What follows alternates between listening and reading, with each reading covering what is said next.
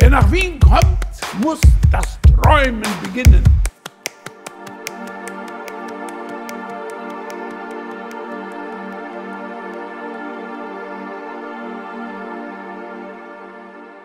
Herzlich willkommen zum Traumtalk. Begrüßen möchte ich Pizzeria und Jaus. Schön, dass ihr mal Zeit genommen habt für uns. Äh, die erste Frage, Paul, äh, Traumtalk. Wovon hast du als Kind geträumt? Ich habe zwei, äh, lustig, dass du sagst, zwei eh sehr präsente Träume, die ich seit äh, Kindesbeinen an träume. Und zwar ist das eine, das kennt glaube ich jeder, das ist das, dass man kurz nach dem Einschlafen irgendwo runterfallen. Und das andere, was ich mir dann sogar mal die Mühe gemacht habe, nachzuschauen, was das in Traum Traumdeutungsbüchern bedeutet, ist, dass ich einen Zahn verliere. Und also entweder ausbeiße oder mich schlagt ja, ich fall und dann ist mein Zahn weg oder ich habe einfach dieses Gefühl, da fehlt was. Und habe ich nachgeschaut und das ist die große Angst vor Misserfolg oder finanziellem Verlust. Also man merkt irgendwie, das auf der Bühne sein färbt auch in der Traumwelt ab. Aber sonst geht's gut. bis, bis jetzt ja. Was sagt der Psychologe, wenn wir auf der Couch sind? Ähm, Alles in Ordnung? Der, der, sagt, der sagt meistens, ähm, ruf mich an, wenn du gut angekommen bist, bussi die Mama. Otto, du warst ja bei den, bei den Sängerknaben. Ja. Äh, und dann irgendwann mal ist der ganz gemeine Stimmbruch ums Eck gekommen. War das so irgendwie so ein geplatzter Traum dann? Wie, wie ist dir das so gegangen? Nein, überhaupt nicht. Da kommt man nicht darum rum. der Stimmbruch ist da und der, der passiert. Und dann wird es interessant, weil oft ist es so, dass man nach dem Stimmbruch ganz, also es ist so, dass man nach dem Stimmbruch eine andere Stimme hat als wie vorher. Und manchmal funktioniert es, dass man weiter singen kann und manchmal funktioniert es einfach nicht. Und da ist die Stimme dann komplett weg. Und bei mir war einfach das Gute, dass die Stimme trotzdem noch da war. Traumberuf, was war der in eurer Kindheit? Äh, wir ja. waren, glaube ich, von Fußballer über ja, Astronaut, Astronaut, genau. Genau. Äh, das waren so die präsentesten, glaube ich. Aber ich war ein Schauspieler dabei und also einfach, einfach Mittelpunkt und irgendwer schaut ja, dazu, wenn du das genau, tust. Ja. Also ich glaube, diese, diese Fokusaffinität haben wir beide schon äh, ganz, ganz, ganz als Kind getragen. Ja. Mhm. Welche Künstler haben euch, euch geprägt? Ja, also für beide auf alle Fälle ganz stark. ERV Hubert von Geusern äh, waren, glaube ich, von den österreichischen her für uns sehr, sehr, sehr, präsent. Bei mir noch SDS, beim Otto noch Ludwig Hirsch, glaube ich, ja, auch sehr. Voll. Also meine erste CD war ERV, das weiß ich noch. ähm, und ja, nach wie vor, wir haben das Privileg gehabt, zu ihrer aktiven Lebenszeit die ja. zwei noch kennenzulernen und sogar mit, mit dem Spitzer Thomas einmal eine, eine Nacht durchzutscheichern. Das war es sehr war lustig. sehr fein. Und, zu dem kam da jeder, glaube ich. Ne? Und, und man merkt halt auch, dass der Herr doppelt so alt noch immer mehr vertragt als die zwei Jungen zusammen. und äh, na, also war schon, war schon lustig. Im, Im, klassischen Bereich auch irgendwas vielleicht? Klassischen Bereich Mozart natürlich. Ja. Es, wir, spielen, wir, wir, wir, spielen, Bach, viel, wir spielen Bach im gleichen Programm. Auf jeden wir spielen Mozart, Beethoven, Bach. Ja, und, und natürlich darf man nicht vergessen, ah, ah, der Figaro? Dankeschön, Figaro, ja genau. Ja. Figaro ist auch dabei. Ähm, ja, wir, also man nimmt sehr gerne aus ja. der klassischen also Fundgrube. ähnliche Musikgeschmäcker gehabt, obwohl sie ja, eigentlich nur kennt habt. Ja, ne? nein, hin und wieder trennen sich die Geister. Das ist beim Musical und harter Metal. Aber es kommt dann auch viel wieder zusammen. Ja. Autofahrten sind immer sehr interessant. Also das war jetzt gerade eine Frage gewesen, wie, ja, wer hat da den Regler in der Hand? Naja, es kommt immer darauf an, wer fährt, aber meistens hat der Balle. Und da sitzt ich da meistens so drin. Weil so diese, dieses... Ja, das, das ist das ist halt Emotion, ist das. Ja, wir auch. sollten einmal so ein, ein Duett schreiben, so ein Liebesduett, wo ich und du. ja, du verstehst was das war das. Das kannst du da, dieses Rolling. Das also, dieses. Aber ja, aber sonst überschneidet sich schon sehr viel, muss ich sagen. Also wir, wir, wir befruchten unsere ja. Geschmäcker gegenseitig und nehmen aus den Töpfen des jeweils anderen das Beste heraus. Dann irgendwann mal das Schicksal, 21. November 2013, ich sage es jetzt in eurer Landessprache, in deiner, in Leum, Lion. Lion. Lion. Alle fünf Vokale in einem Wort Lion. äh, echt zusammengeführt, Schuld ist äh, Chick, ne? Wer hat jo. da geraucht vielleicht? Zwei oder beide? Beide. Beide. Wer hat wem das Feuer gegeben? Ich hab, nein, da habe ich den Eis noch nicht geflattert gehabt. die, die Elster Jaus ist nämlich genau. bekannt dafür, ja, dass sie die Feuerzeuge. Feuerzeuge. Nein, ich glaube, da haben wir beide gehabt. Ja, wir beide gehabt. Ja. Wie, wie, wie war die Situation? Nehmt uns da mal mit in die naja, es ist, wir sind halt sehr nervöse Menschen vor Auftritten. So haben wir uns mehr oder weniger kennengelernt, das nervöse Herumhupfen vorher. Und da haben wir sich halt dann versucht, gegenseitig die, die Nervosität oder die Angst vor dem Auftritt wegzunehmen. Und so haben wir sie dann sind wir das erste Mal wirklich ins Reden reingekommen. Da seid ihr beide getrennt voneinander aufgetreten? Nein, das war Nein, nein, ich, bin, ich, bin, ich bin eingesprungen, ich bin bei der langen Nacht des Kabarets eingesprungen für den wunderbaren Didi Sommer. Und da haben wir uns dann das erste Mal wirklich kennengelernt. Also, und da ist es auch passiert, dass wir uns dann die Hand drauf gegeben haben, dass wir was gemeinsam machen. Also Liebe auf den ersten Blick. Liebe was auf so. die erste Chick. Ja, kann man Ja, sagen. genau. eigentlich, Es war ja, Liebe kann man auf sagen. die erste Chick. Ihr seid ja nicht jetzt nur da, nicht nur da, dass ihr da äh, gemütlich sitzt, sondern ihr sitzt auch ein bisschen was, was arbeiten. Ja. Also wirklich, wir Ganz was. Neues. Gerne. Äh, und zwar, müsst euch jetzt in fünf verschiedenen Versionen auf dieser Couch da in Szene setzen. Okay, das schaffen wir.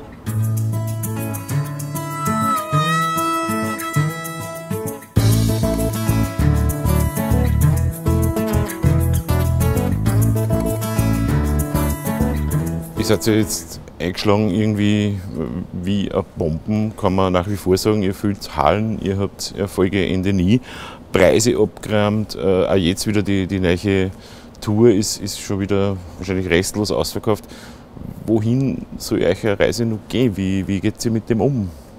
Erfolg macht was mit dir und, und deswegen schauen wir, dass wir gemeinsam uns auch immer die Zeit nehmen, dass wir genug reflektieren und einfach äh, gemeinsam damit lernen, damit umzugehen. Und das funktioniert auch immer besser. Ähm, wo die Reise hingeht, der Otto, Ja. der Otto hat immer einen, einen, einen gewissen Traum gehabt für das Traumgespräch. es ist, ja, natürlich. Es gibt, es gibt so Träume, die man hat, die müssen aber nicht in Erfüllung gehen. Aber es wäre schön, es wäre zum Beispiel sehr schön, wenn wir mal im Stadion, im Stadion also im Ernst-Happel-Stadion spielen könnten. Also wenn das einmal passiert, wäre das so ein, das war dann schon ein Leibwand. Das war dann cool. Wenn's aber, Total ist schon passiert. ja, ne? nein, das ist Also- alles schon passiert. Das sind eh schon Sachen, die man nie gedacht hätte, dass das passiert. Also das ist ja der Wahnsinn. Aber wenn es nach Stadion kommt, das sind aber Träume. Das ist nicht so, dass wir sagen, das ist das Ziel, da müssen wir hin. Und wenn das nicht passiert, dann geht es uns nicht gut. Nein, überhaupt nicht. Wenn das nicht passiert, dann passiert es halt nicht. Aber das ist so ein Traum, den man hat. Das ist ja Schöne bei Träumen. Bei Träumen, die müssen in Erfüllung gehen. Es ist recht schön, wenn man träumen kann.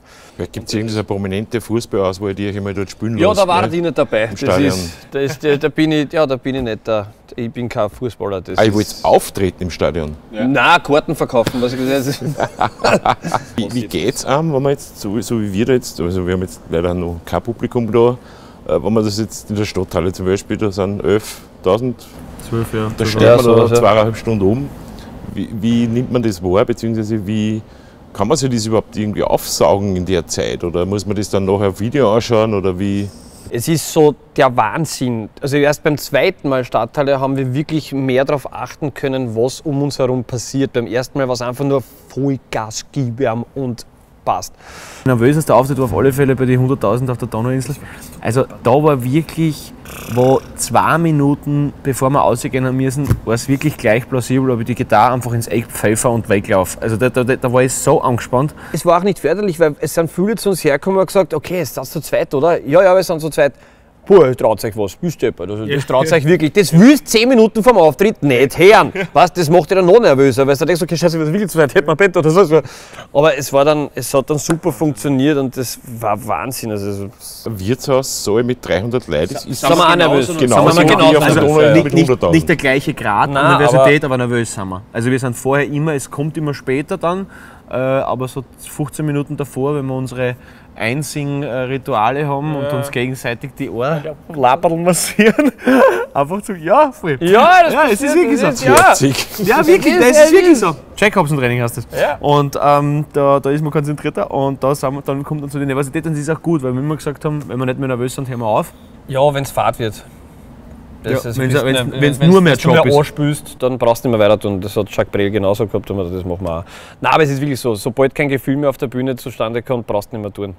Was, was bedeutet dieses, dieses Globe Wien hier in der Markshalle für euch? Ist das ein, ein Ankerpunkt? Äh, Von uns zwei ist es jetzt eine, eine Bühne, die wir auf der Tour gerne bespielen, wo wir letztes Jahr leider Gottes nicht viel spielen haben können, weil, wir, weil der brennt hat und weil es neu aufgebaut worden ist. Wer von euch zwei ist der bessere Koch? Ich glaube der Otto. Ich glaube der Otto kocht, Kommt darauf an, was man kocht. aber, aber ich glaube du kochst öfter.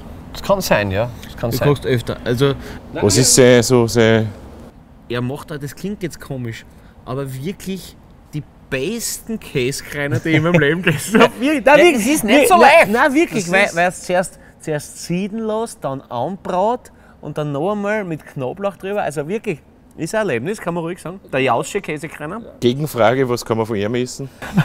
Der Bauer. Der Frischzimmer, das er kauft, oder? Nein, gar nicht. Er bestellt super. Es ist, nein, Blödsinn.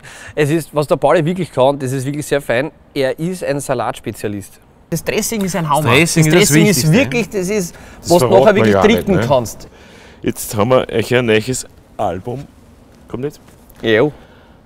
Es ist nur relativ warm sogar von der Druckerei, ganz Ja. frisch. Äh, Ja. Die Farbe geht nicht runter. Das neue Album, wer nicht fühlen will, muss hören. So ist es. Ähm, wie ist das zustande gekommen? Wie lange habt ihr euch da Zeit genommen? Wo waren vielleicht auch mal so ein bisschen Hänger drinnen oder ist das so rausgeflutscht auf einmal?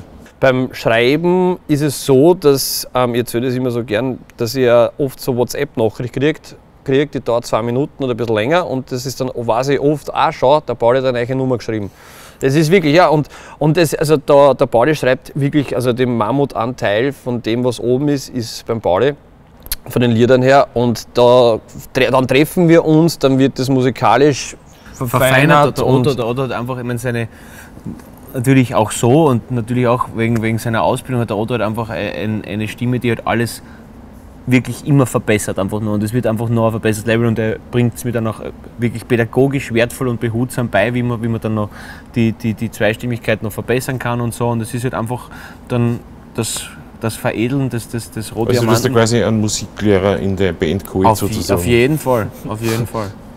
Es ist auf dem Album im Vergleich zum ersten vielleicht weniger lustiges oben, was einfach daher rührt, dass wir beim ersten Album uns gedacht haben, okay, wir kommen beide aus dem Kabarett, die Leute erwarten irgendwie, dass wir viel Witziges haben und diesmal sind wir, glaube ich, mittlerweile gleich etabliert als Musiker, als als Kabarettisten, von dem her war es uns mehr wurscht Ja, und es hat sich ja so ergeben. in eine eigene Schiene irgendwie auch vordrungen. Wie, wie schaut sowas auf der Bühne dann aus? Wenn man jetzt so eine CD hernimmt und sagt, wir machen jetzt ein Programm, äh, kommt da dann wieder ein Kabarett dazu? Ist das dann schon Genau, ja. Kabarett? Wie, wie Nein, das ist das gar Genau. nicht. Also, wir haben uns halt gedacht, äh, nur Musik äh, machen wir uns zu seriös und nur Kabarett wäre uns zu profan. Also bauen wir eben immer parallel zu unserem Musikalbum dann eben noch die lustigen Sachen dazu. Wir haben gewusst, das kennen wir, wir kennen beide Entertainern auch nur mit Sprache. Und deswegen haben wir halt auch lustige Nummern zwischen den ernsteren, also Musiknummern und dann halt auch lustige gesprochene Konferenzen. Es geht halt einfach zu zweit für mich und du kannst halt den Abend abwechslungsreicher gestalten, als wenn du nur ein Lied nach dem anderen oberklopfst. CD-Präsentation, äh, ihr habt da äh, eine Legende ausgegraben, hätte ich jetzt fast gesagt. Ja. Äh, Peter Ausgraben. Ausgraben. hat euch eine CD-Präsentation moderiert. Wer Danke, hat den Peter. angerufen? Danke, Wer Peter, hat die wirklich. Nummer von, ihm, von euch? Peter war öfter zuschauen mit seiner Freundin und wir haben uns immer super verstanden. Voll.